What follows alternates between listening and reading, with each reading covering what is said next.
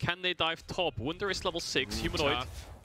He just hit range. six. Cass is going to be big. How he uses it will decide a lot. Locked up, potentially going to get taken down. Body slam goes in. Cass goes in, Ooh. knocking back Selfmade. Wunder buys a bit more time. Can wait, can get a little bit more Oh, damage. And the Wunder! flash over. Oh my god, the footwork. Oh, are they going to get him?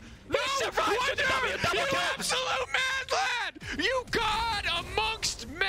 just witnessed a man ascend to a higher level of existence. Humanoid on the cleanup. Wunder the cleanest footwork I have ever seen. I do not believe how well Wunder played that dive. There are so many small mechanical things he did there to buy as much time as possible, and he stopped all the damage from Vitality. That was that was crisp. That was perfection to prevent that top dive. I thought he was as good as dead with the setup that Vitality have.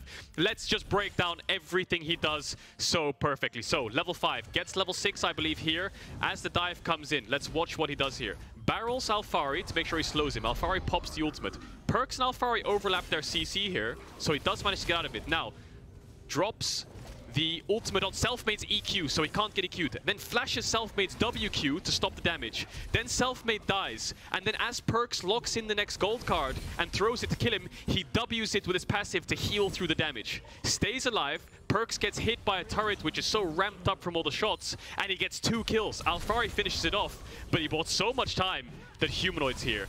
Wunder, you absolute beast.